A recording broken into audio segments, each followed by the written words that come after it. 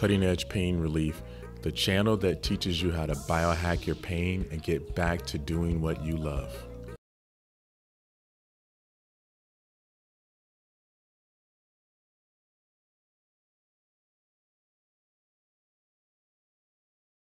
Oh, this back's been hurting since, well, I had my first surgeries and since 2015 was my, I had three surgeries in 2015. What were the three surgeries? Uh, discectomy, and it became infected, so he took the, had to go in and scrape out the infection and found out there was a couple more bad discs. Mhm. So he had to fix those while he was in there, and then that got infected. And so he had to go back in and do the infection on that, found a couple more discs that were, he had to do. Okay. Did it get better after all the scraping? No.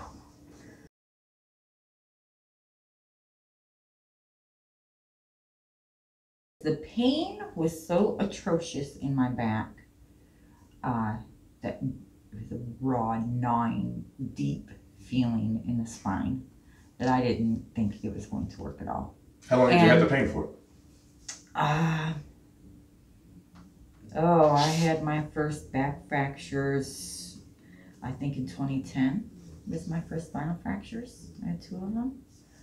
So I've had it for nine years now, well, 10 years.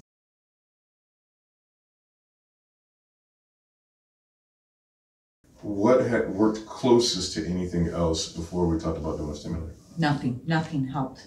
Okay. The shots didn't help.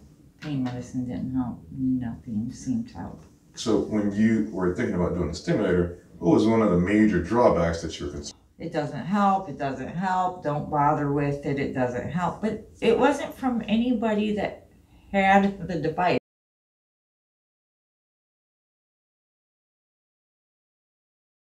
Uh, even gave me his card in case I came up with questions later. Did you? Gave me you have any questions? no, no, because he gave me a DVD. He gave me a little booklet to read. Mhm. So I mean, he was very thorough and everything.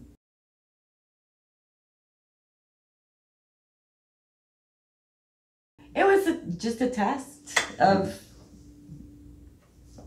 I guess, basically just everyday things. Like, I, I don't know if I can say what kind of questions were, but it wasn't hard at all or anything. My problem was I overanalyze everything. So I'm sitting there and I was like, well, it could be this, or it could be this, or it could. So it's really just pick the best answer.